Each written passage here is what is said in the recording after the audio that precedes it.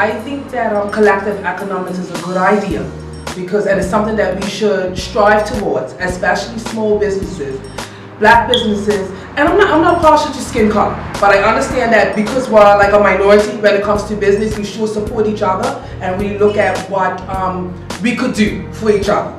Just look even as the with these soaps.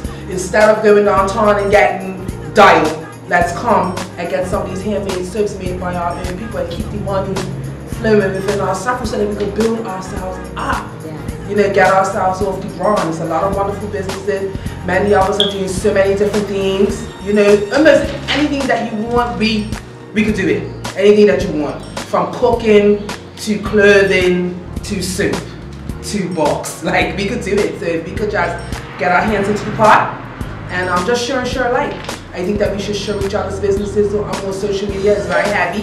You know, I think we should we should push each other whichever way we can and let everybody know what's what's going on you know, um, and um, just try our best to, to come together as a unit and, and, and spread that love and spread that finance, you know, around so that we can stay up.